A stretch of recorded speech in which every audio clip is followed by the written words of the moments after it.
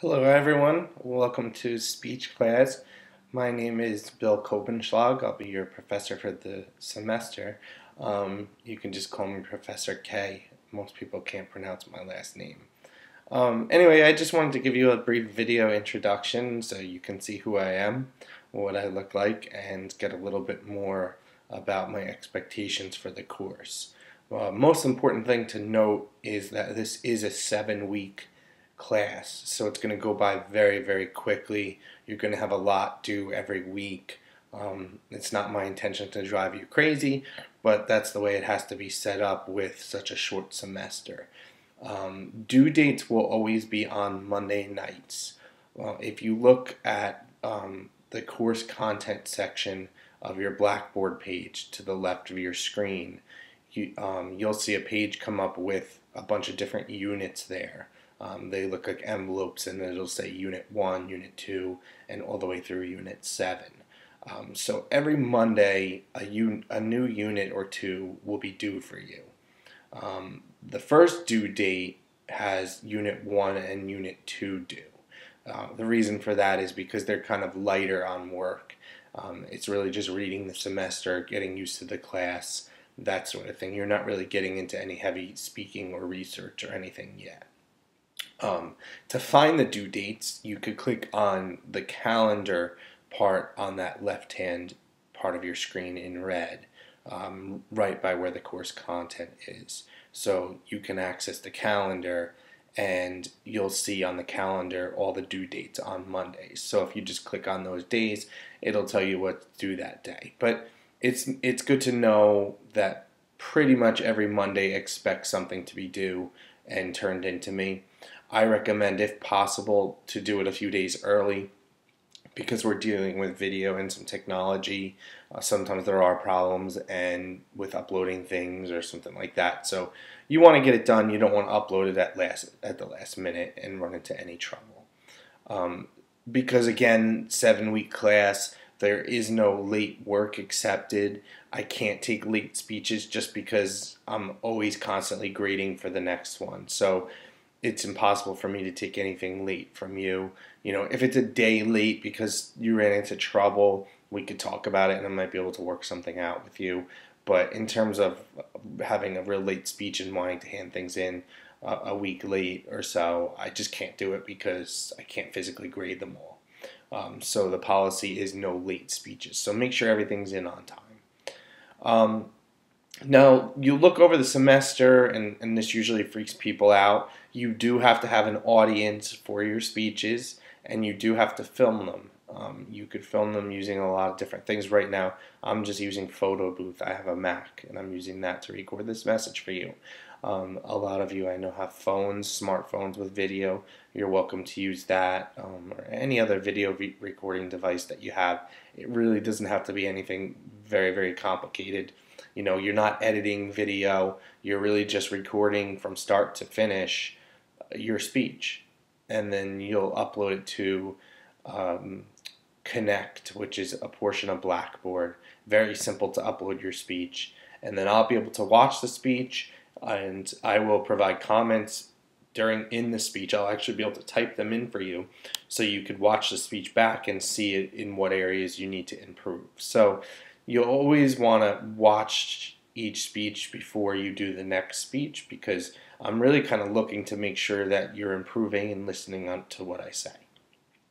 I'm going to leave you off with a couple of tips for how to do well in this class. Um, and I can't emphasize enough, this is only seven weeks. So really, you're going to have to work hard. And that's the expectation here because it's a short semester. Um, it's to your advantage that you know you don't have to go to the classroom, which is nice, um, and that it's a pretty short semester and you can get some three credits in seven weeks, which is pretty cool. But it does come with some downsides. You're going to have to find no audience for your speech.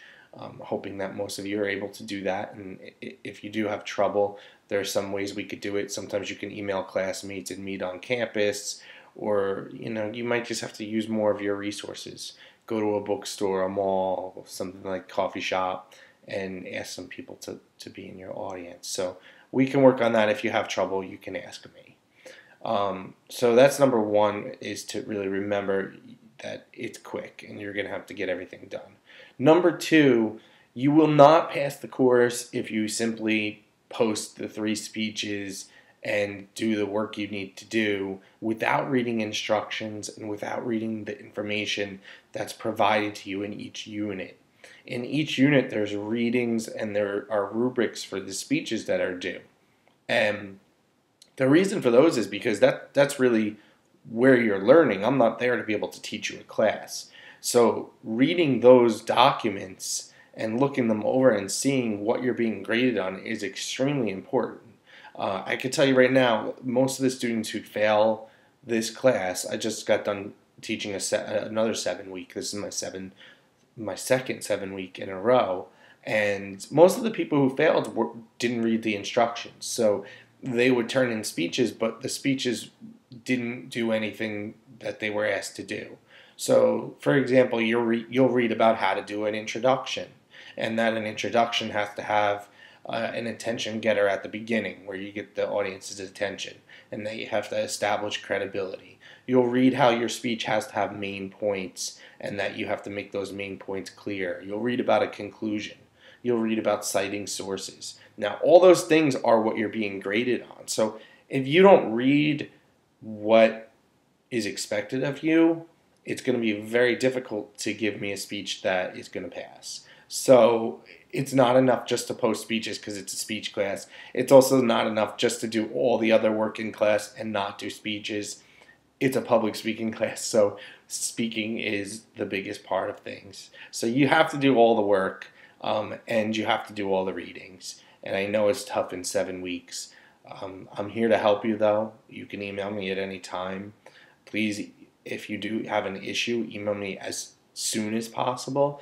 I prefer, and I'm, and it's easier for me to work with you if you let me know of an issue beforehand or as it happens, rather than a couple weeks later or towards the end of the semester, where I really don't have much time or resources to help you out. Okay, so check the calendar. Your first due date um, is Monday. I'm not sure offhand. I don't have it in front of me, but it's a Monday coming up. It's not uh, this Monday it's the next one. So um, it's a week from today, I believe. And that'll be units one and two. Like I said, those units are going to be reading the syllabus, um, sending me an email with your information, just some simple things like that, but important things for the class. So make sure you read and understand the syllabus. And again, in each unit, when you open it up, the very first thing is going to be a list of what's due for that unit that section. The best thing to do, print that first page out and make yourself a checklist and check off each thing that's due and make sure that you do get everything done that you're supposed to. Um, your first speech will be in Unit 4, so it's about three weeks away. Um, if you want to start thinking of a topic now and, and you want to just I open Unit 4 so you can access it. If you want to look at the assignment, start planning now when to get a group together to, to do your speech and record and start thinking of a topic. You may do that. Um, the only thing I ask about working ahead in the class is that you don't do a second speech until I get you a grade for the first one. So, no doing all three speeches of the semester before I get you feedback, okay? Um, but really, for the first three units, you may work ahead if you want. You can even go into the fourth unit and, and look over what's due and start the speech if you want to do that early. But um, you can't get you can't do the second speech, which is in unit five, until you get my feedback from the first speech, which is in unit four. Just because the feedback is going to help you get better. Okay, um, that's really all I'm thinking of offhand, and I just wanted to send this message as a greeting and, to wish you luck. If you follow along and you ask questions and you do well, I, I don't see any reason why you you'll have trouble with the class. Um, I know public speaking is very very nerve wracking for some of you. It was for me when I was in school, and that's why I decided to teach it. I decided to beat it and, and conquer my fears, and, and now I'm a professor of it. So you can get there if you're if you're one of those people who's worried. Take a deep breath, do the best you can, follow the instructions and follow the structure of the speech, and you'll be okay. Just because you look nervous isn't a reason that I'm going to, I'm going to fail you. Um, and I, I should mention one last very, very important thing. You may not read directly from a paper for your speech. So this isn't writing an essay or a report and just reading it to the to your audience. Um, in the unit, you'll learn to write a keyword outline, which you'll be able to reference during your speech. But there should be no full sentences. We shouldn't see you actually reading a script to the class. You should be speaking to the class. I don't ask you to memorize it completely either. I ask you to know your speech enough so that you can use your keyword outline as a guide. And, and you'll read more about that as we go. But again, any questions, concerns, anything like that, please email me as soon as possible. And keep your emails in Blackboard, in this Blackboard system where I sent this. Um, if you email to the to the BCC account, it's harder for me to get. I don't get them all, and I like to keep everything condensed inside the course. Okay, so again, um, good luck. I'm glad to have you all in class, and get in touch throughout. You'll I'll be posting throughout reminders of due dates. If I see any issues, recommendations, things like that, I will be in touch. I'm very hands on, and I'll be able to to help you as we go. So thanks for watching. I hope you watch this. If you watch this completely through, you're on the right path because you did the first thing you were supposed to do. So get started on Unit 1, open that up, get used to the class, look at the syllabus, then get Unit 2 done, and, um, and you'll be done the, the first part. And then Unit 3 will be due the following Monday. So, you know, check out that calendar, check out the, the course content and everything else. And if you have any questions, please do send me an email. Thanks a lot and good luck.